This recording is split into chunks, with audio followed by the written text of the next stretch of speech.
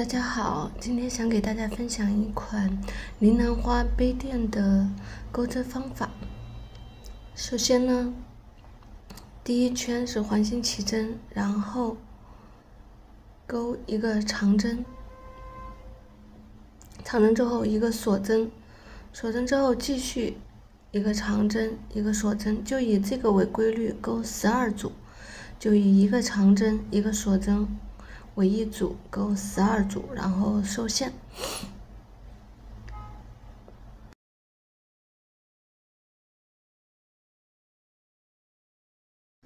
接着我们开始钩织第二圈，第二圈就是在每个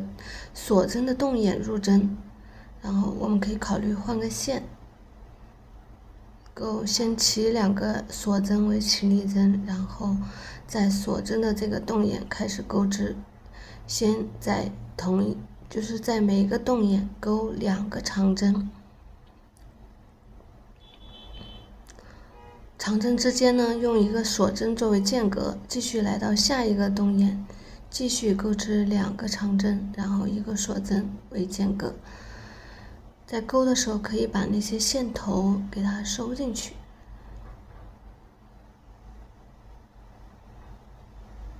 好，以这个为循环呢，我们把第二圈钩完。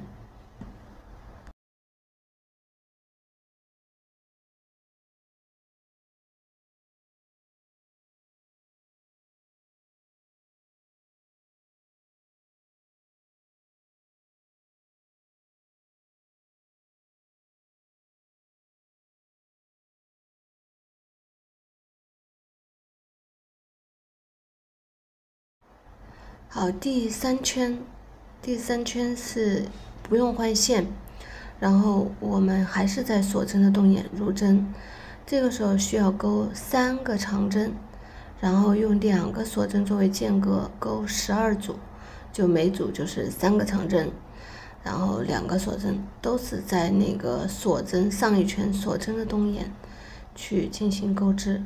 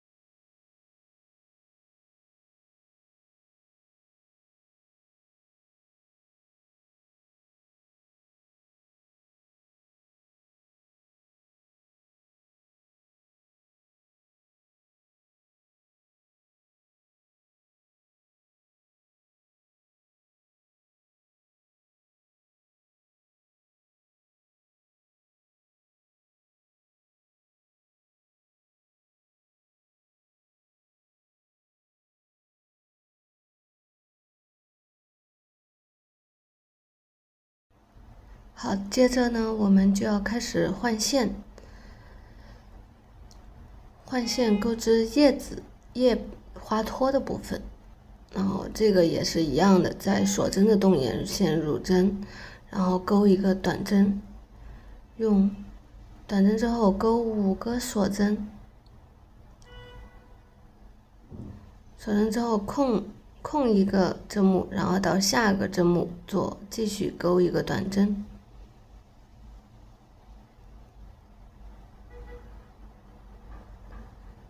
短针之后继续钩五个锁针，然后再空一个针目，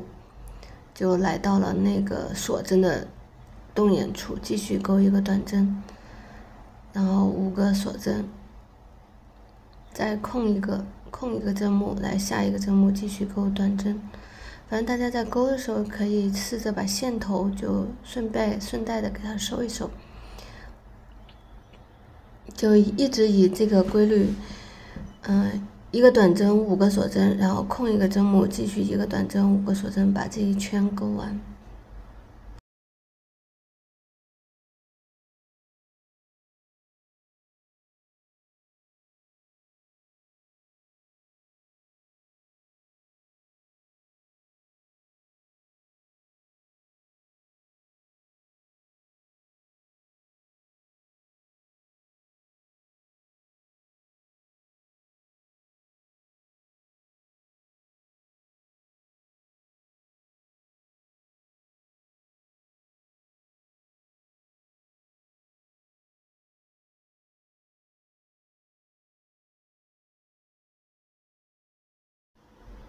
好的，最后一针呢，就是在短针的刚开始短针入针针目那里钩一个引拔，然后第四圈就算结束了。接着来钩第五圈，大家就听我的讲解，先先在锁针的地方钩一个短针，然后钩三个锁针。好，锁针之后钩一个长针。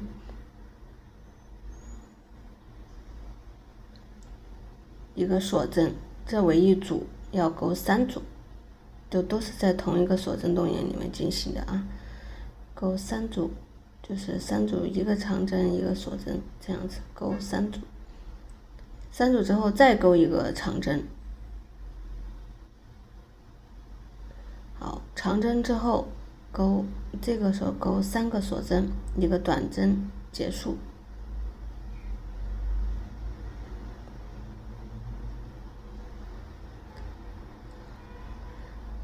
这样子呢，这样子就是一个花形，就算钩完了。下面一个花形呢，有下面一个洞眼的花形又有点不一样，先钩一个短针，然后钩七个锁针，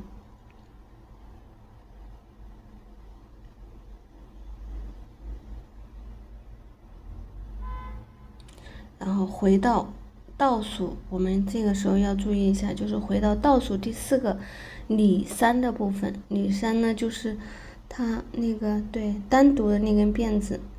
回到第四个辫子就中间处，中间的部位去做个引拔，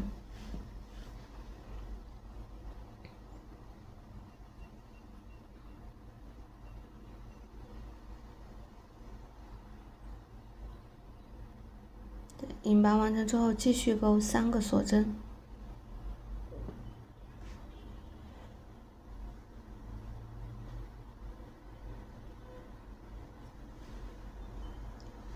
对，这样呢就算完成了一个花托，一个花叶。左边那个，右边那个是第一个钩的是花托，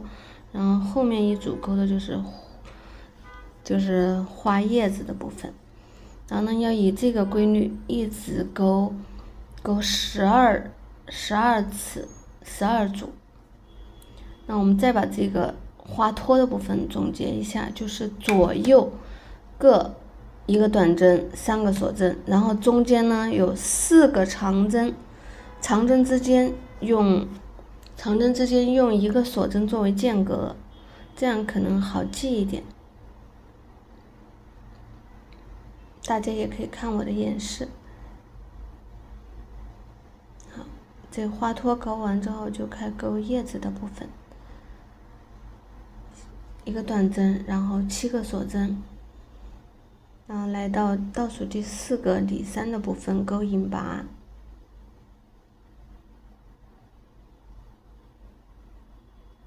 然后大家就把这一圈钩完，在其他花花朵的部分，我们就在下一集给大家分享。